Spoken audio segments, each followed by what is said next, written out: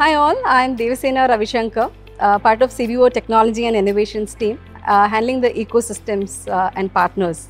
Superior experience is the expectation from each and every of our customers today, creating a competitive edge in their business operations, supporting our customers in their growth and transformation, bringing thought leadership is a key prerogative uh, from TCS. And Intel has joined hands with us in this journey.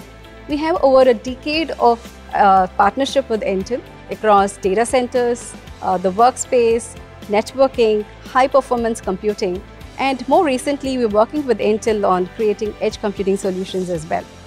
The partnership that we've had as TCS has enabled success in many of our customers across the enterprise.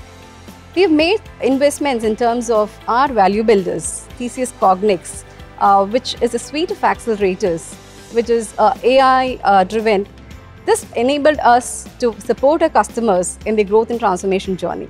From workplace standpoint of view, Cognix for Workspace is something that we have built along uh, with Intel.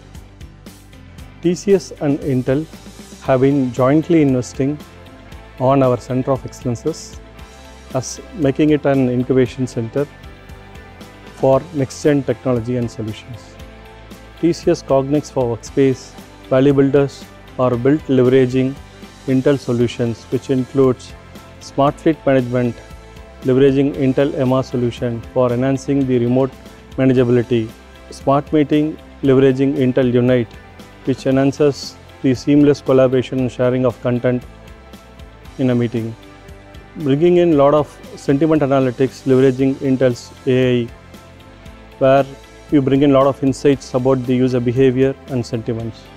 During this pandemic, we had rolled out this solution to one of our enterprise customers across 100k users, which helped us in managing the users remotely by increasing the percentage to 80%, which helped in reducing the end user visiting the customer premises, helped in scaling the productivity, stability, and security.